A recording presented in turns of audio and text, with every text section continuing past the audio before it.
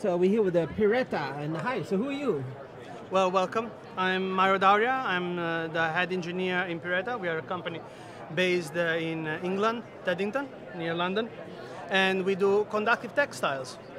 Uh, our sort of mantra is that we don't use conducting ink, we don't make conductive fabric, we make fabric conductive, and that's exactly what we do. We create conductive patterns on virtually any kind of fabrics. It could be synthetic, natural, stretchable, woven, knitted, and non-woven. We are really not limited to the um, to the composition of the fabric, and uh, we uh, our, our pride is in a few peculiar points. One is that we don't change the handle and drape of the fabric. It really feels as if there was no conductor printed on it. The stretchability is preserved. There is no different in the stretchability of the fabric. There is no limitation. In this process, we create a thin metal coating at the fiber level. This allows us also to keep the, uh, the stretch and the breathability of the fabric. There is no interposer layer. Um, and uh, if you look here, this is an example of how we can stretch the fabric without losing conductivity, without losing connection. So uh, there's a thin layers of something. There's a thin layer of metal. What met- what kind of metal? At the moment, we are using copper with a passivation of silver, but we are not really limited to those materials.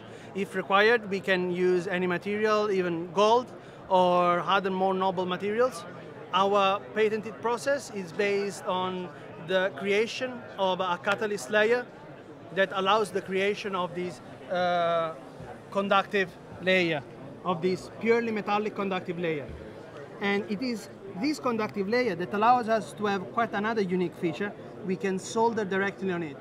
We don't need to use uh, low temperature soldering. So we this is common uh, lead or lead free solder with a soldering iron and the connection is really strong to the point that the weakness is the fabric itself. So if I try to rip this off, what I will ruin is the fabric and the soldering will still be uh, intact. So how do you put the metallic stuff into the fabric? Uh, the process is a five-step process. Uh, it is a printing process where we deposit chemistry on the fabric, which creates a catalyst layer. And then the fabric is immersed into a bath, which coats the fibers of the thread, which makes the fabric into a thin layer uh, of, of metal. So it's a purely metallic layer that, with a, with a wet chemistry process, is applied at the fiber level.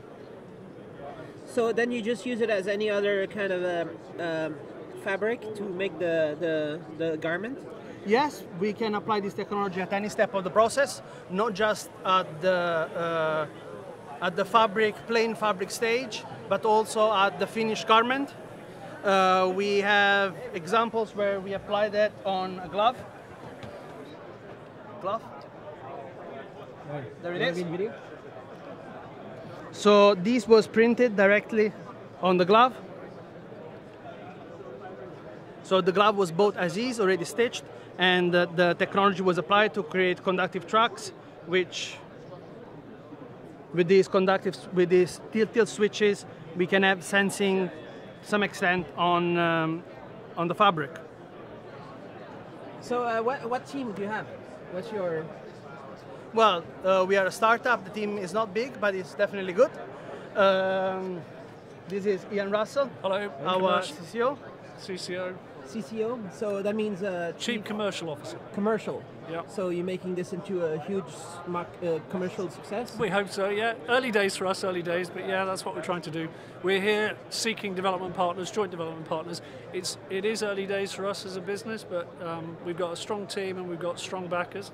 So yeah, we are we're seeking partners who can help us produce the next generation of wearable products. So what kind of partner you need? Is like Nike, uh, Puma, or what? What are you uh, thinking? Yeah, Or sports anyone? apparel, medical devices, consumer electronics, uh, there are a large number of brands who are looking to uh, produce wearable products that are based on textiles. So moving from either componentized products that you might wear on your wrist to products that are uh, truly wearable garment type products that can be functionalized and made intelligent with, with e-textiles. And, and what do you do? Well, in here I am the, the engineer, so um, it's my duty to a bit create the patterns, create the demonstrators. I'm in charge of the hardware, of the design, and of the uh, software, and of the mechanics part. I'm So what happens when you put in a washing machine? Does it just fall off the no, fibers? it's perfectly fine. Really? Yes, there i- we, we run some tests and we do, did not find traces of the metal. Of course, the washing, the washing process wears the fabric as it wears the coating. It's like after many washes, the color on your shirt will fade, or but it is that kind of wear that happens, but it does not fall off the fibers. It remains functional, it remains conductive. Uh, the, the bond of the metal to the fibers is very strong, it's very robust. So, in terms of uh, uh, stretch cycles and rub testing and washing, uh, it's a robust process, and the conductivity, the functionality is retained. There has to be some issues, right? What's what's your issue? what, do you have any issues? Well, we like we like to think that we really overcome a lot of the hurdles and of the limitation of other conductive on fabric technologies. What's Um, the other technologies out there? Doing well, you- something completely different? you have conductive thread and conductive inks. Conductive thread, you will need embroidery. It's besides being a slow process, it can get very expensive because there's a lot of thread that needs to be put down. difficult to solder to it. Printed conductive inks, you generally need some sort of plastic interposer layer. Because the in- ink sits, above the textile, it's not inherently stretchable. So we've, we've, we've spoken to customers who've tried both of those alternative technologies and they're not satisfied with them. And you can see why, because they have a, fundamentally, they have a negative impact on the performance of the fabric. You don't have any negative impact on the performance. No, the fabric is left fundamentally unaltered. It keeps all the breathability and the stretchability. There is really no fundamental change. The only thing that, that you see is that there, that there is a color and that it's printed. Maybe the only drawback is that it's not transparent. Yeah. So uh, what are you showing on your video? Is it a demo? Um, it is a, it is a summary of what we've said until now. Um, You don't have the play button. the, Why isn't it playing? Paused. And then, yeah, you got it. So There then we on- on your video it shows some. Uh, so is, have you shown this before? Uh, Video? yes, we have been to a couple of other uh, events, uh, usually in UK because we are a UK-based uh, company. You don't sound like a UK based. Oh, Oh, well, no, I, I'm, I'm joking. I don't know. no, no, but uh, I'm, you- I'm Italian. My Pireta accent may. sounds like Italian also, right? Pireta it comes from a Latin name. It's the name of a butterfly. It's called the, the glass wing butterfly because we add functionality without having those uh, obvious feeling of adding an extra layer to the fabric. So Pireta is actually a Latin name. That's hence the name. So what's going to happen? Uh, because it's great to be able to solder stuff on it. That's very important, right? It makes then you life can a lot easier. higher performance kind of things. You can have all the sensors you have in a smartwatch on your clothes. All the processors. This is a heart rate sensor. This is actually out of commercial components. There is nothing, there's no component in here that you wouldn't be able to buy yourself. What we provide is the interconnect. You know, the, the important thing is there's a there's a whole trend in the industry to to support the movement of these wearable technologies from, as I said, enclosures and boxes into wearable textiles. So sensors are, are evolving into stretchable, conformable sensors.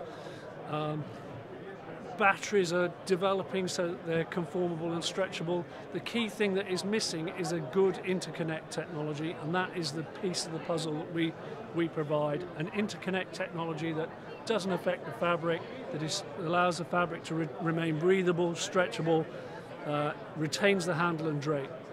So how many of the other components will be flexible? Flexible battery? You interested or? We are definitely interested in have one flexible fat battery and flexible electronics.